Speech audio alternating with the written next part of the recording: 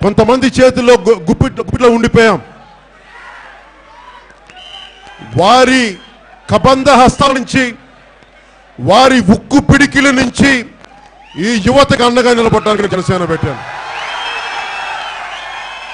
నిన్న కడపలో మన జన సైనికులు కేసులు పెట్టి ఒక అబ్బాయిని జన సైనికుని యాక్సిడెంట్ పేరు మీద చంపేస్తే నేను ఒకటే భరోసా నేను అన్నిటికీ తెగించిన వ్యక్తిని నేను.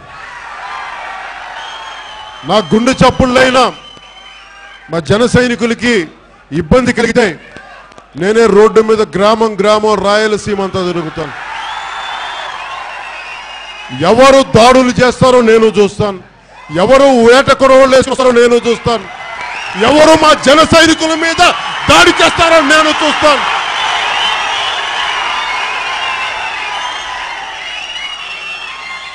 వైసీపీ నాయకులకు ఒకటే చెప్తా ఉన్నాం. నేను చాలా తెగించొచ్చాను. చాలా.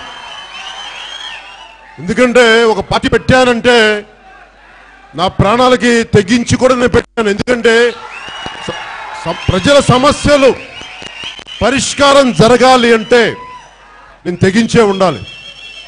నేను అన్నిటికీ తెగించే ఉన్నాను. ఎందుకంటే ఈ తరానికి బలమైన పాలన బలమైన నాయకులు సమాజంలో ధైర్యం పోసే నాయకత్వం లేకపోతే అందరూ వలసలు పోతారు. రాయలసీమ కొద్ది మంది చేతుల్లోకి పోద్ది. అదైతే పోవడం పోనివ్వడానికి నేను సిద్ధంగా లేను. తిరిగి రాయలసీమ ప్రజల చేతుల్లోకి రావాలి. ప్రజాస్వామ్యం చేతుల్లోకి రాయలసీమ రావాలి. దానికోసం నేనున్నాను. వైసీపీ నాయకులు కూడా చెప్పాను. జగన్ రెడ్డి గారంటే నాకు వ్యక్తిగతంగా శత్రుత్వం కాదు. ఆయన నిజంగా చాలా బాధపడతా ఉన్నారు ఆయన. వాళ్ళ నాయ వాళ్ళ కార్యకర్తలు కానీ వాళ్ళ నాయకులు కానీ మమ్మల్ని ముఖ్యమంత్రిగా గుర్తించరాని. మీరు కూల్చివేతలతో కాకుండా శంకుస్థాపనలతోటి పరిశ్రమలు వచ్చేలాంటి వాతావరణం కియా ఫ్యాక్టరీ పెడితే అక్కడ వచ్చిన వాళ్ళు పెట్టిన సీఈఓని బెదిరించేసి అలా పెట్టి అలా బెదిరిస్తే పరిశ్రమలు ఎక్కడి నుంచి వస్తాయి? ఇంతమంది ఉపాధికి యువతకు ఉపాధి అవకాశాలు ఎలా వస్తాయి? వీటన్నిటిని తట్టుకోవడానికి అవన్నీ చేయగలిగితే నిజంగా చాలా గౌరవిస్తాం జగన్ రెడ్డి గారికి. ఈ రోజున మిమ్మల్ని మీరు నన్ను చాలా ఏకవచనంతో మాట్లాడతారు. వైసీపీ నాయకులు. ఒరే తురే మాట్లాడతారు. భరిస్తాం. భరిస్తాం. సహిస్తాం కూడా. పరిస్థితులను బట్టి ఏం చేయాలో చేస్తాం. కానీ నేనున్నది ఒక పార్టీని నడపడం చాలా కష్టమైన పని. చాలా కష్టమైన పని. నాకు మన సమాజం మీద మీ భవిష్యత్తు మీద రాబోయే తరం మీద ఎంత ప్రేమ లేకపోతే నేను పార్టీ పెట్టను. మీ దృష్టిలో తీసుకొస్తున్నాను.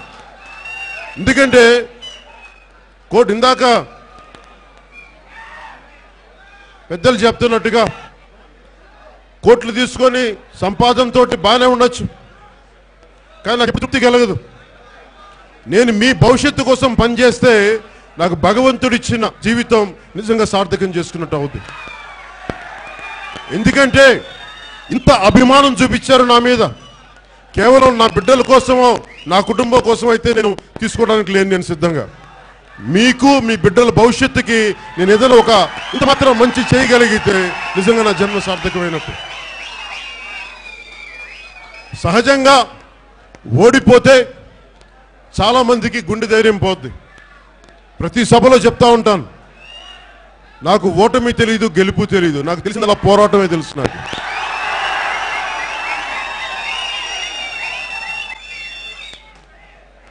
ప్రతిసారి మీరు చూడండి నేను ఏ మూలకెళ్ళినా రెండు వేల పద్నాలుగు నుంచి రెండు వేల పంతొమ్మిది దాకా అత్యధికంగా యువత వచ్చారు. చుట్టూ తిరిగారు బలంగా ఉన్నారు. కానీ ఓట్లేసే టైంకి రకరకాల పరిస్థితుల వల్ల వెళ్ళిపోయారు. నేను చాలా మంది ఎందుకంటే ధైర్యం. అంటే మనం ఓట్లేస్తే మళ్ళీ మనల్ని ఓళ్ళలో ఉండనిస్తారా? ఆ భయం చాలా మందిని ఓట్లేనివ్వకుండా చేసింది. నేను మీకు ఈ రోజున చెప్తా ఉన్నాను. అంబేద్కర్ గారు ఒకటే చెప్తారు. గొర్రెల్ని బలిస్తారు కానీ సింహాల్ని బలివ్వరని.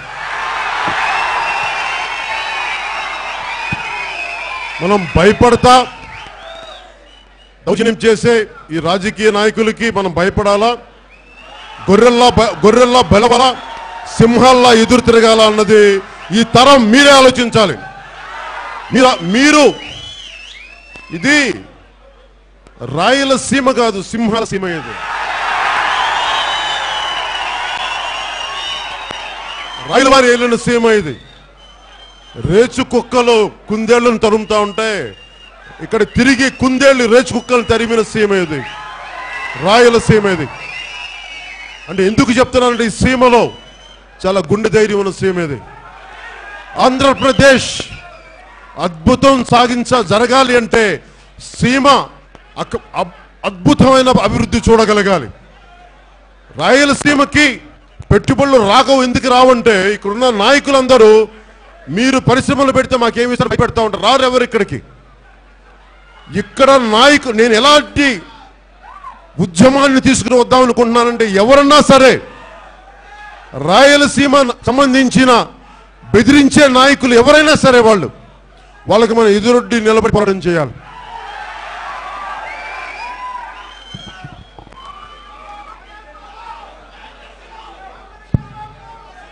ఏంటండి? వీడియో నచ్చిందా? అయితే ఓ లైక్ వేసుకోండి. లేదంటే ఓ కామెంట్ చేయండి. ఎప్పటికప్పుడు మా వీడియోస్ చూడాలంటే సబ్స్క్రైబ్ చేసుకోండి.